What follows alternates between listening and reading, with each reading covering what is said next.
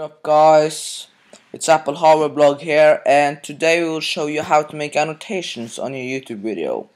If you don't know what annotation is, it could be a link, it could be a note like be sure to thumbs up the video or it could be a link as I said that will take you directly to a channel or to a place like apple.com or something. So you'll go up here press and to videos. Pick the video you want to have annotations on. Press edit. Go up to this thing comments or annotations. Then you will press here.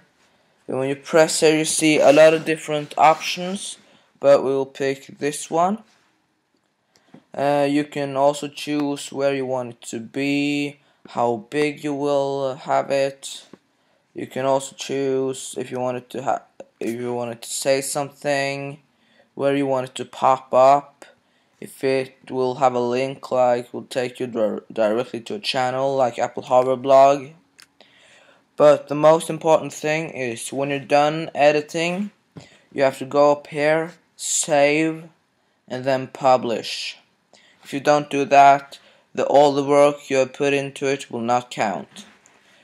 So yeah, that was AppleHardwareBlog and be sure to check out our channel for more tutorial videos, unboxings, reviews and thumbs up the video, subscribe, comment if you want to and yeah, we'll see you later.